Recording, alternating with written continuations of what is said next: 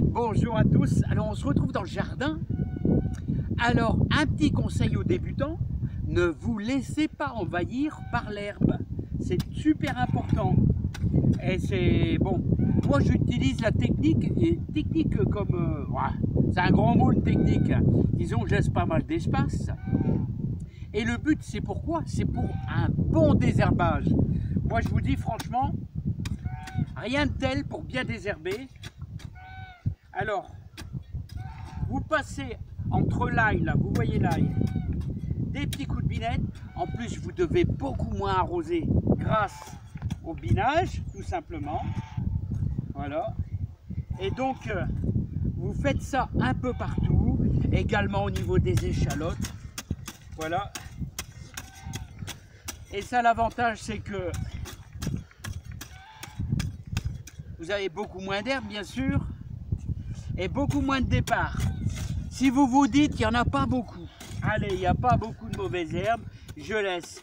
Et vous allez voir que dans 15 jours, et eh ben dans 15 jours, vous allez être envahi.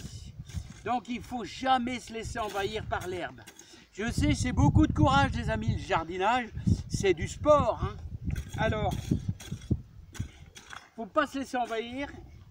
Et tous les semaines, il vaut mieux passer 5 minutes à faire entre vos lignes, vous, vous vous dites, vous vous dites, allez, je fais tous les échalotes aujourd'hui, et en même temps, je vais planter ou je vais semer, etc. Voilà. Hein. Voilà, mais tous les jours, vous passez un petit peu, ne serait-ce que des petits départs, de, petites herbes.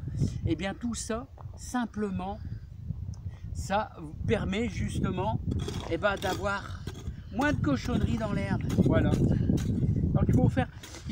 Alors l'objectif, ce que je veux vous dire comme conseil, c'est qu'on fait un petit peu tous les jours. Là, vous voyez, hop, les oignons, c'est pareil. Ici, là, c'est le passage. Vous avez vu entre les oignons. On donne un petit coup, tout simplement comme ceci. Voilà, les amis, il faut faire attention parce que les oignons sont encore très petits. Vous voyez, ils démarrent tout juste. Hein, les oignons démarrent tout juste. Donc, euh, bah, quand il fait extrêmement sec, il n'a pas plu de, pendant quelques jours, c'est vrai qu'on peut arroser un petit peu les échalotes, un petit peu les oignons. C'est général un légume qui n'a pas besoin d'eau, il, euh, il, se débrouille tout seul, mais on peut, euh, comme ici c'est archi sec, bah, donner un petit coup, les amis. Donc, un petit coup de pinette. Bon bah écoutez, c'était le, petit conseil pour cette soirée. Moi je vous souhaite plein de bonnes choses. N'oubliez pas qu'on est un petit peu plus de mi-avril. Il est encore temps, échalotes, oignons, de les mettre au niveau du jardin. Et là, bien sûr, mi-avril, on est en lune descendante. N'hésitez pas à mettre vos lignes de pommes de terre, c'est le moment aussi.